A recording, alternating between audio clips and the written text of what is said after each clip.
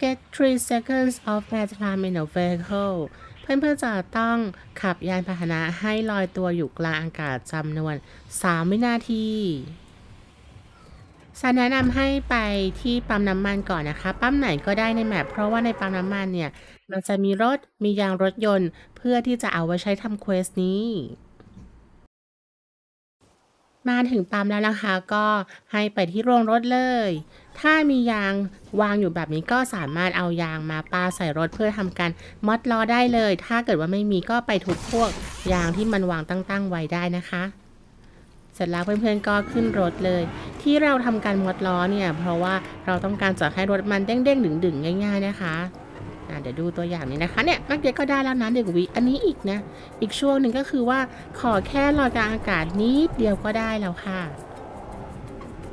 อันนี้เขาไม่ได้บอกว่า continuously แปลว่าเราจะไม่จำเป็นจะต้องทำแบบต่อเนื่องสามารถทำหนึ่งวิหนึ่งวิหนึ่งวิ หรือว่าจะเป็นหนึ่งวิแล้วก็สองวิก็ได้ ตามแต่เพื่อนๆสะดวกนะคะ